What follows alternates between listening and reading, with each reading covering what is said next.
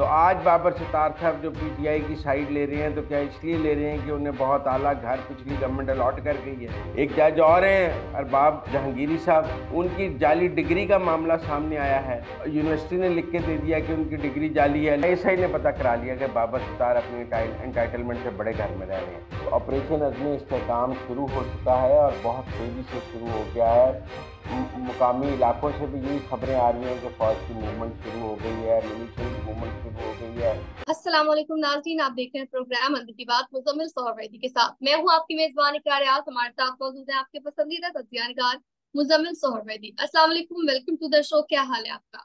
وعلیکم السلام بالکل ٹھیک ٹھاک آپ سنائیں۔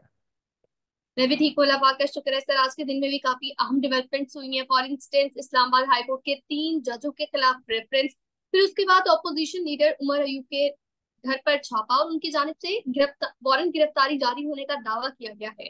پھر آپریشن عزمی استحکام سے ریلیٹڈ آپ سے اندر کی بات جانیں گے تو سب سے پہلے پہلے ٹاپک کی جانب بڑھتے ہیں۔ اسلام آباد ہائی کورٹ کے تین ججوں کے خلاف یہ جو ریفرنس اس متعلق آپ کیا کہیں گے اندر کی بات کیا؟ اچھا یہ ریفرنس ایک سرکاری ملازم کی جانب سے دائر کیا گیا ہے، جو اسلام آباد میں سرکاری گھر الاٹ کرتا ہے۔ اور اس نے کہا ہے کہ جسٹس بابر ستار نے ایک ایسا گھر الاٹ کروانے کے لیے جس کی ان کی انٹائٹلمنٹ نہیں تھی۔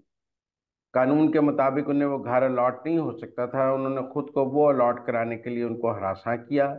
اور ان کے ساتھ دو ججز اور بھی تھے جس میں انہوں نے الزام لگایا ہے کہ ایک ایسا گھر جس کے وہ اہل نہیں تھے وہ انہوں نے لیا ہے۔ تو سابق ڈی جی محمد ایوب کی طرف سے دائر کی گئی ہے۔ یہ وزارت ہاؤسنگ کے سابق ڈی جی ہیں جو اس وقت ڈی جی ہاؤسنگ تھے۔ اور اس ریفرنس میں جسٹس بابر ستار کے علاوہ جسٹس طارق جہانگیری اور جسٹس ارباب طاہر پر بھی الزامات عائد کیے گئے ہیں کہ سرکاری افسران کو ڈرانے کے لیے اور دھمکانے کے لیے اور جسٹس بابر ستار کے ساتھ مل کر ان کو ان کی پسند کا گھر الاٹ کرانے کے لیے انہوں نے دباؤ ڈالا۔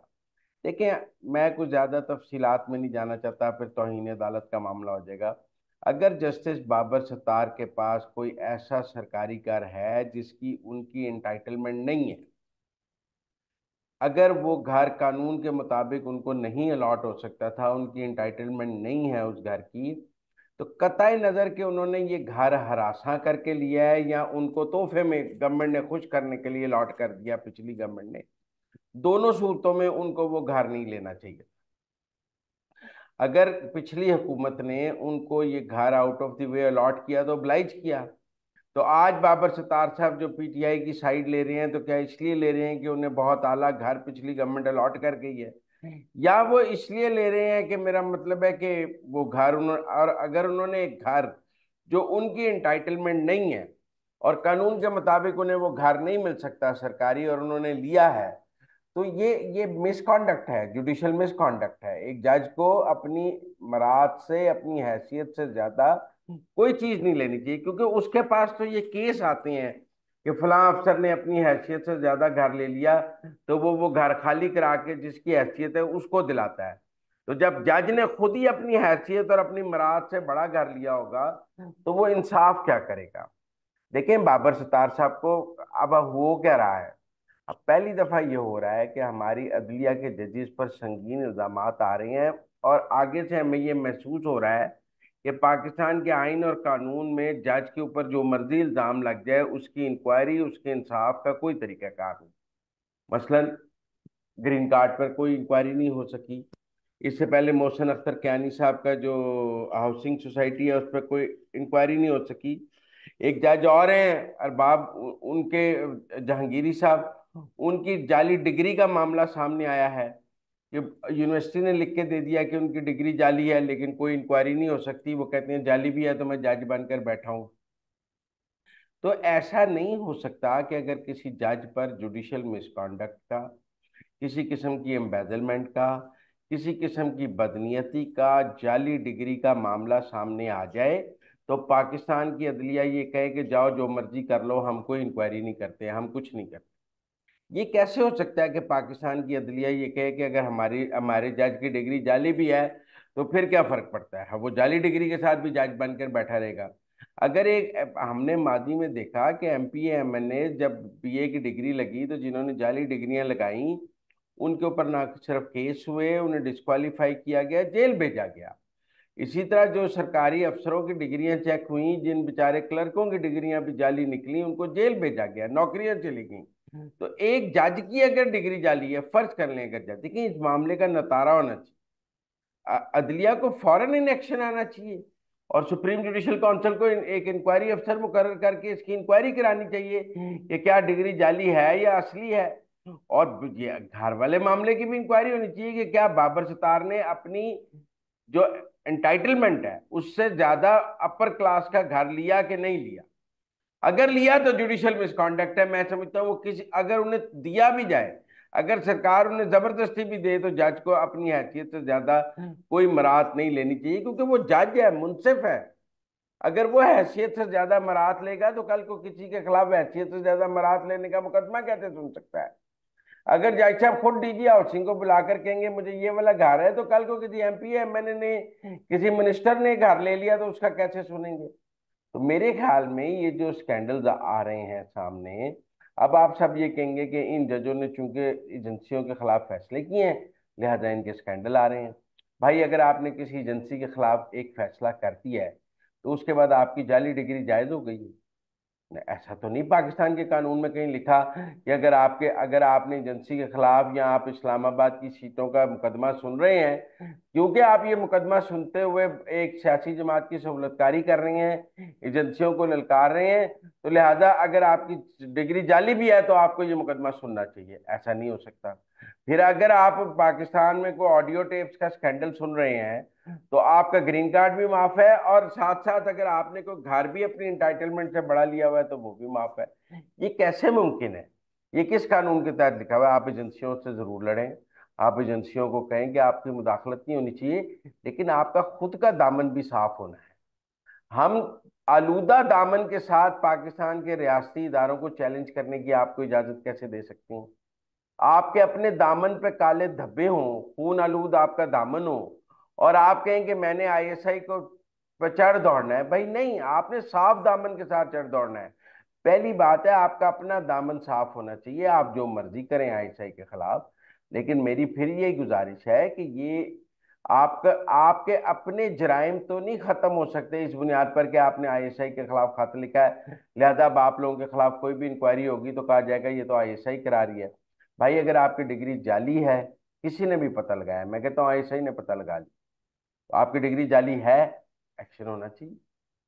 میں کہتا ہوں جی آئی ایس آئی نے پتا کرا لیا کہ بابر ستار اپنی انٹائٹلمنٹ سے بڑے گھر میں رہ رہے ہیں۔ پر اگر وہ اپنی انٹائٹلمنٹ سے بڑے گھر میں رہ رہے ہیں تو غلط کام کر رہے ہیں نا۔ تو غلط کام کر رہے ہیں تو اس کی سزا ملنی چاہیے۔ اس میں ایسی کون سی بات ہے؟ جوڈیشل مس کانڈکٹ ہے۔ اگر کسی جج نے کسی کو ہراساں کیا ہے تو اگر وہ ہراساں کا ثبوت ہے تو انہیں سزا ملنی چاہیے۔ وہ اگر ان کے کسی جرم کی کو سامنے لایا گیا ہے کیسے بھی اس جرم پہ کی انکوائری ہونا سپریم جوڈیشل کونسل سے فرض ہے۔ اور اگر وہ سچا ہے تو اس پر ایکشن لینا۔ یہ کہہ کر تو آپ کسی جرم کا پردہ نہیں ڈال سکتے کہ چونکہ میں نے آئی ایس آئی کے خلاف بیان دے دیا ہے لہذا اب میرے سارے جرائم معاف کر دیں۔ کیونکہ میں تو ایک ہیرو ہوں میں نے آئی ایس آئی کو چیلنج کیا ہے۔ تو آئی ایس آئی کو چیلنج کرنے کے بعد تو میری جعلی ڈگری بھی معاف ہے۔ میرا مراد سے بڑا گھر بھی معاف ہے۔ میرا گرین کارڈ بھی معاف ہے۔ میرا سب کچھ معاف ہے۔ میری ہاؤسنگ سوسائٹی معاف ہے۔ یہ کس قانون میں پاکستان کے لکھا ہوا ہے کہ مجھے اب اب چونکہ میں نے آئی ایس آئی کو چیلنج کر دیا ہے، تو لہذا مجھے سب معافی ہے، میں جو مرضی کروں، مجھے سب معافی ہے۔ یہ تو نہیں ہو سکتا۔ آئی ایس آئی کے جرائم بھی سامنے آنے چاہیے۔ آئی ایس آئی کو بھی حدود میں کام کرنا چاہیے۔ لیکن آپ اپنے آلودہ دامن کے ساتھ تو آئی ایس آئی پہ چڑھ دوڑیں گے، تو اپنا دامن بھی تو آپ کا صاف ہونا چاہیے نا۔ آپ چور مچائے شور تو نہیں ہونا چاہیے۔ تو میرے خیال میں قاضی فائز عیسیٰ صاحب کو ایک تو ان ججز کو کام کرنے سے روکنا چاہیے۔ کیونکہ اب ان کی عداوت نظر آ گئی ہے ریاست اور ریاستی اداروں کے ساتھ اور ایک عداوت کا ماحول بن گیا ہے، یہ فیئر ججز نہیں رہے ہیں، یہ نیوٹرل ججز نہیں رہے ہیں، یہ اب فریق ہو گئے ہیں۔ دوسرا ان کے اوپر جو الزامات ہیں، ان کی اعلیٰ سطح انکوائری ہونی چاہیے۔ آپ دیکھیں نا، آج تک وہ جو شہزاد صاحب کی بیٹی کے ایکسیڈنٹ کا معاملہ ہے مبینہ طور پہ، اس کی بھی کوئی انکوائری نہیں ہوئی ہے۔ کیوں؟ ہمیں تو ایسا لگ رہا ہے کہ ایک آدمی جج بننے کے بعد اس کو وہ پاکستان میں کوئی بھی جرم کر دے اس کے خلاف کوئی انکوائری نہیں ہو سکتی، اس کو سارے جرائم معاف ہیں، وہ پاکستان میں آئین، قانون، جرم تعدیرات سب سے مبرہ ہو جاتا ہے۔ یہ کہاں لکھا ہے کہ جج قانون سے مبرہ ہوگا، جج آئین سے مبرہ ہوگا؟ جج ایک سپر چیز بن جائے گا جس کے اوپر نہ پاکستان کا آئین نہ قانون کچھ بھی لاگو نہیں ہوگا۔ اس کے بچے بندے مار دیں تو اس کو کچھ لاگو نہیں ہوگا۔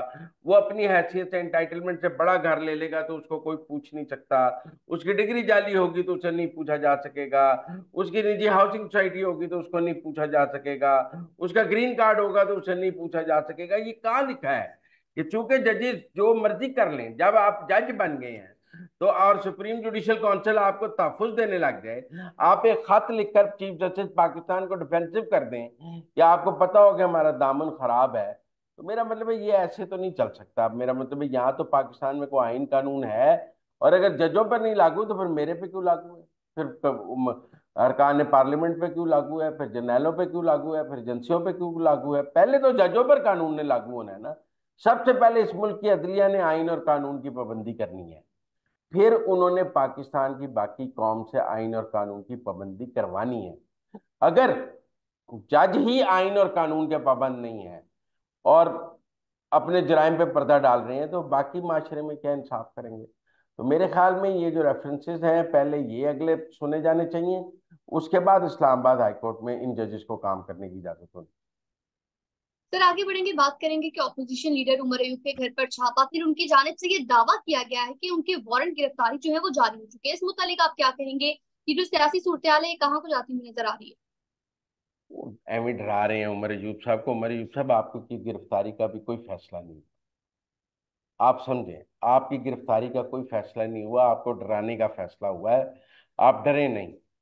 آپ کی گرفتاری کا فیصلہ ہوگا، پھر چھاپے نہیں مارے جائیں گے، آپ کو گرفتار کر لیا جائے گا۔ آپ کون سا خفیہ مقام پہ ہوتے ہیں جہاں سے آپ کو گرفتار نہیں کیا جا سکتا؟ پہلے بھی جب آپ گرفتار نہیں ہوئے تو پاکستان کی ریاست اور ایجنسیوں کی مرضی تھی کہ آپ کو گرفتار نہیں کرنا، تو آپ گرفتار نہیں ہوئے۔ ورنہ اگر گرفتار کرنا ہوتا تو آپ کو میرا مطلب پہاڑوں کے اوپر یا پاکستان سے باہر تو نہیں تھے۔ تو میرا مطلب ہے کہ یہ ابھی ان کو ڈرایا ضرور جا رہا ہے کیونکہ ان کی زبان ٹھیک نہیں رہی پیچھے۔ لیکن میرا نہیں خیال عمر یوب کی گرفتاری کا کوئی فیصلہ ہوا ہے اور نہ عمر یوب کو گرفتار کرنے کی کوئی کوشش کی جا رہی ہے۔ ان کو ڈرایا ضرور جا رہا ہے کہ وہ ڈر جائیں۔ اور میری ان کو مشورہ ہے کہ بالکل نہ ڈریں۔ سر آگے بڑھیں گے اور بالکل ٹھیک ہو گیا۔ سر آگے بڑھیں گے کچھ بات کریں گے آپریشن عزم استحکام کو لے کر۔ تو اس متعلق آپ کیا کہیں گے؟ دیکھیں ایسی ویڈیو سامنے آئی ہیں جس میں فوجی افسران آپریشن عزم استحکام کے حوالے سے بریفنگ دے رہے ہیں، مقامی جگہ لوگوں سے بات کر رہے ہیں۔ تو اور کچھ وہاں موومنٹ بھی ہے منیشن کی۔ تو آپریشن عزم استحکام شروع ہو گیا ہے۔ اور اگر کسی کا یہ خیال تھا کہ اس کے لیے کوئی اجازت چاہیے ہوگی پی ٹی آئی کی اے این پی کی، فضل الرحمان کی، مجھے نہیں لگتا فوج کا ایسا کوئی موڈ ہے کہ ان سے ان کی اجازت لی جائے۔ آپریشن عزم استحکام شروع ہو چکا ہے اور بہت تیزی سے شروع ہو گیا ہے۔ ایک میجر جنرل صاحب کی ویڈیو بالکل سامنے آئی ہے، جس میں وہ اس بریفنگ لوکل لوگوں کو دے رہے ہیں کہ ہم نے یہ ٹارگیٹڈ آپریشن کرنا ہے اور لوکل لوگوں نے ہمارے ساتھ تعاون کرنا ہے۔ لیکن وہ ساتھ یہ بھی کہہ رہے ہیں، اگر تعاون نہیں بھی ہوگا تو ہم نے یہ آپریشن کرنا ہی کرنا ہے کیونکہ ریاست کا فیصلہ ہے۔ لہٰذا میرا یہ خیال ہے کہ اے پی سی ہو یا نہ ہو پارلیمنٹ کو بریفنگ ہو یا نہ ہو، فوج نے آپریشن عزم استحکام کرنے کا فیصلہ کر لیا ہے اور اس کو شروع کر لیا ہے۔ باقی جو سیاسی ماحول آپ کو نظر آ رہا ہے، میرا خیال ہے فوج اس سے قطع نظر اپنا کام شروع کر چکی ہے اور ان کا خیال ہے کہ یہ سیاسی ماحول میں جو ہوتا ہے، ہوتا رہے۔ ہم نے تو آپریشن کرنا ہے اور پاکستان دہشت گردی کو ختم کرنا ہے، اور چیزوں کو ختم کرنا ہے۔ لہذا آپریشن عزم استحکام کور کمانڈرز کانفرنس کے بعد شروع ہو چکا ہے۔ مقامی علاقوں سے بھی یہی خبریں آ رہی ہیں کہ فوج کی موومنٹ شروع ہو گئی ہے منیشن کی موومنٹ شروع ہو گئی ہے۔ کچھ تیاروں کی موومنٹ کے بارے میں بھی بات آئی ہے۔ اور اس لیے آپریشن عزم استحکام ٹرائبل ایریاز میں ادھر ادھر جو دہشت گردی کے سے متاثرہ علاقے ہیں، وہاں پر بہت ٹارگیٹڈ آپریشن شروع ہو گیا۔ تو ناظرین، یہ تھی آج کے اندر کی باتیں۔ آپ سے ملاقات ہوگی اب اگلے پروگرام میں۔ ہمیں دیجیے اجازت۔ سلام کے بعد